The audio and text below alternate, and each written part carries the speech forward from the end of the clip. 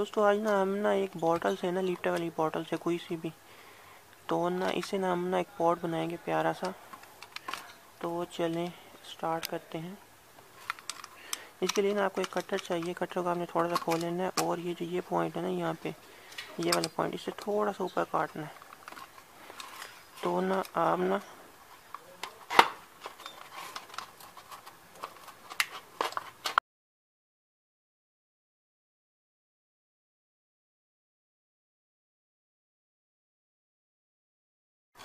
तो ना ये मैंने काट लिया, इसको सीधा करने के लिए ना। इसको मैं कटर लाता हूँ।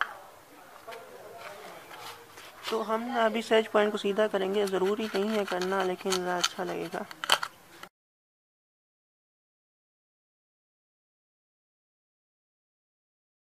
आपने इस लाइन का ध्यान रखना तो ये नियर अबाउट अब सेट है। अब हम ना इसको ऊपर पोर्शन करेंगे। यहाँ से काटेंगे।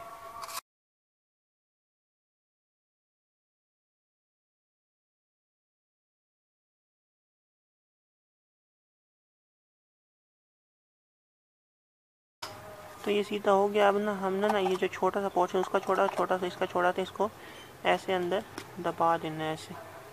यहाँ करके ना अब हमें ना इसको बंद करना पड़ेगा, किसी ग्लू से या उससे हीट गन से।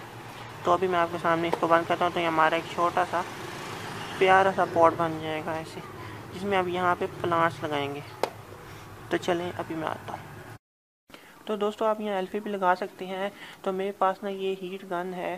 तो ये सस्ती मिलती थी महँगी नहीं होती। मैंने 150 की ये ली थी आई थिंक सो और ये था ट्वेंटी रुपीज़ के, ये थे पहले। नहीं, अब साल पहले आपको ये करंट रेट नहीं पता। तो आप ये लगा सकते हो या फिर एल्फी भी ले सकते हो, बीस रुपये की एल्फी आएगी। तो आपने क्या करना है, आपने ना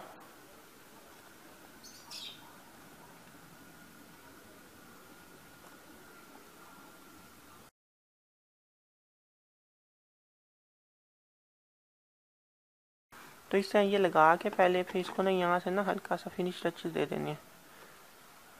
ऐसे।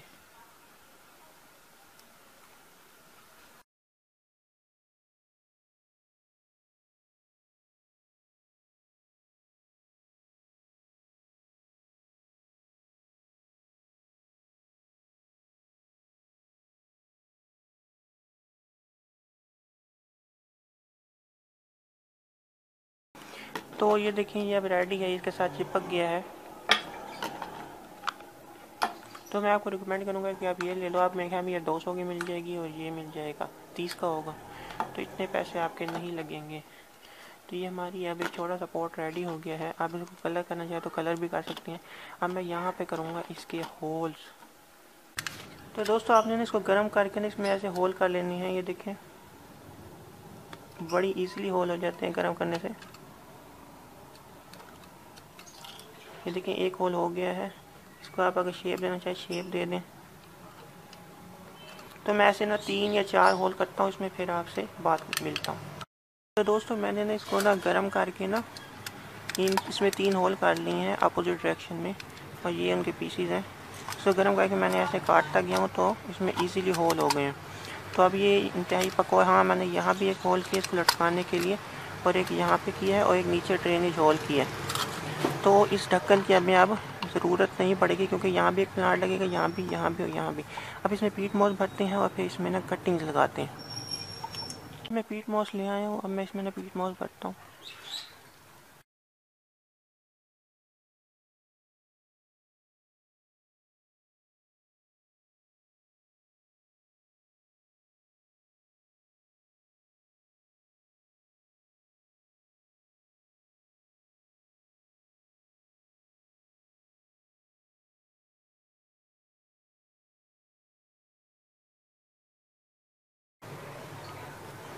तो ये हमारा पॉट रेडी है।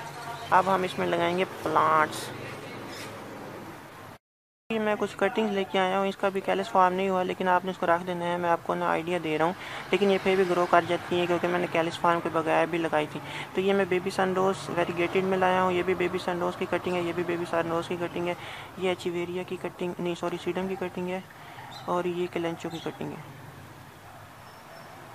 तो इसके ऊपर हम ये लगाएँगे इसके ऊपर लगाएँगे हम ये। इसमें थोड़ी सी और पीट मॉस भर लें।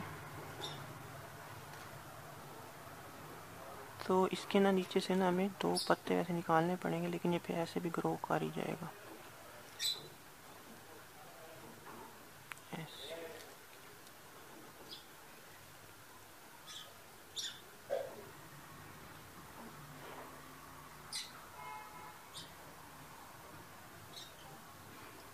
तो ये आ गया ऐसे।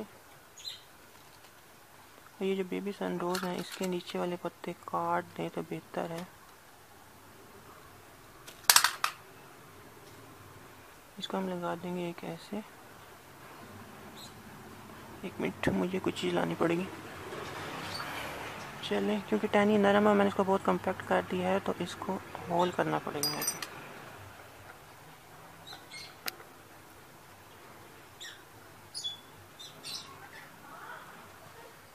तो ये एक लग। गई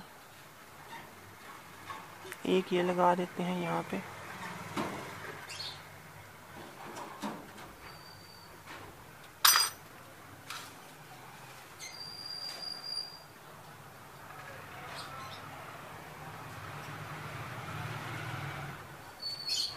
और ये जो वेरीगेटेड बेबी सन है, इसको भी मैं इसके अंदर डाल दूँगा।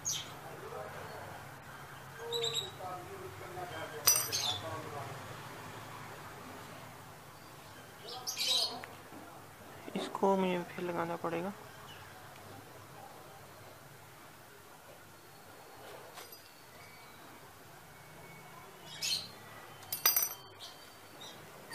इसको मैं बगैर पत्ते काटे हुए डाल रहा हूँ, ताकि फंस जाए अंदर।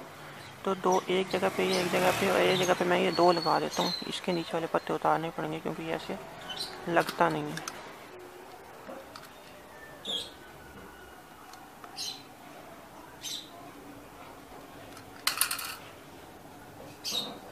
ये।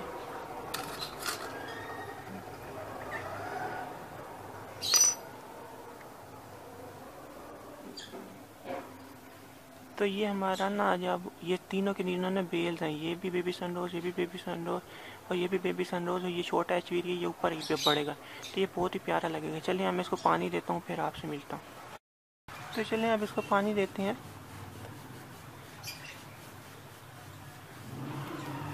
ताकि ये पक्के हो जाएँ और इनकी मट्टी बैठ जाए।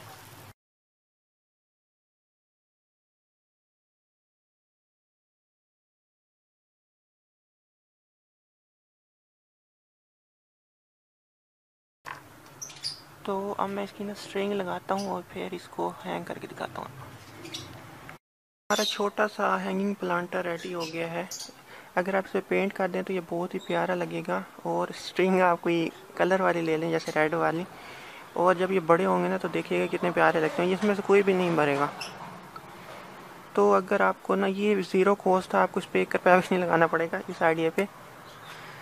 तो ना आपको एक वेस्ट बॉटल चाहिए होगी और हाँ आपको एल्फी लेनी पड़ेगी। अगर आपके पास ग्लू है तो वो बहुत ही अच्छी बात है।